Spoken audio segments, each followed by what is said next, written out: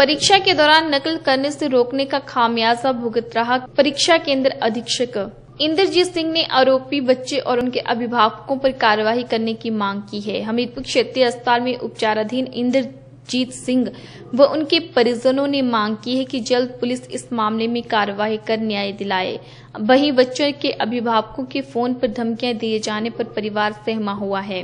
बता दें कि राजकीय वरिष्ठ माध्यमिक पाठशाला चांदनी जिला सिरमौर में नकल करने पर सख्ती दिखाए जाने के एवज में रात को आठ बजे क्वार्टर जाते वक्त जानलेवा हमला किया गया था, जिसमें इंद्रजीत सिंह को पीठ, सिर, टांगों पर गंभीर चोटें लगी हैं। वहीं पुलिस ने भी एक स्थानीय निवासी और दो बच्चों पर मामला दर्ज किया है, लेकिन आगे कार्रवाई नहीं की गई है, जिस पर इंद्रजीत और उसके परिजनों में गहरा रोष है। वहीं अब हमीरपुर में भी इंद्रजीत को धमकी भरे फ़ोन आने पर बस सहमा हुआ है। इंद्रजीत सिंह और उसकी पत्नी ने मांग करते हुए कहा कि पुलिस को आरोपी बच्चों, अभिभावकों पर सख्त कार्रवाई अमल में लाई जानी चाहिए ताकि दोबारा से ऐसा ना कर सके।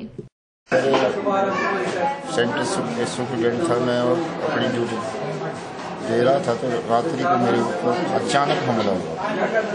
इससे सर में चोट आने से मैं मेरा माइंड भी अभी काम नहीं कर रहा है और मैं हॉस्पिटल में अभी एडमिट हूँ। जब मैं ठीक हो जाऊँगा, उसके बाद जो है, तब जो ये घटना मेरे साथ क्या घटी, बता सकता हूँ।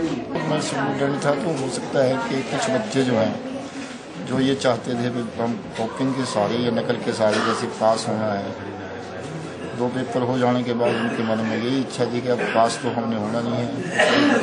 उस वजह से उन्होंने अपने अभिभावकों को या किसी अन्य शराब के तत्वों को कहा होगा कि वो सुप्रिटेंडेंट है, अब इसका कुछ करो। तो हो सकता है कि तभी मेरे ऊपर जो है, जिन लोगों ने हमला किया वो शराब पी के पिए पिए हुए थे और सीधा सर पे मेरे पे बार किया है और मैं जो है, उसके बाद मेरा जो माइंड है, वो अभी काम नहीं कर रहा जो है मेरा, उसमें जख्मी था पानियों पे चोट है, पीछे चोट है, कान पे चोट है, बाजू पे चोट है।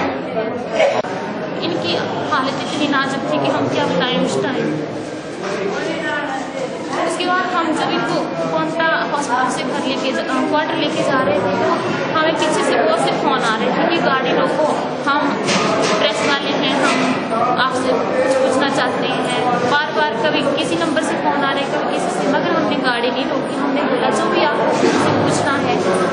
क्वार्टर चांदनी में पूछ सकते हैं आप अभी हम गाड़ी नहीं रोकेंगे इनकी हालत बहुत ख़राब है। फिर हम चांदनी पहुँच गए, तब वहाँ कोई भी नहीं आया। उसके बाद फिर हम स्कूल वगैरह उनको फ़ोन किए, वो आए और इनकी मेडिकल लीव छुट्टी की और इनको घर ले आए। आगे सरकार से। इस संबंध में यही बात है कि जो मेरे पति के साथ ऐसी घटना हुई, हमें इसका न्याय दिलाया जाए और जो भी दोषी हैं उनको सजा, कड़ी से कड़ी सजा मिलनी चाहिए।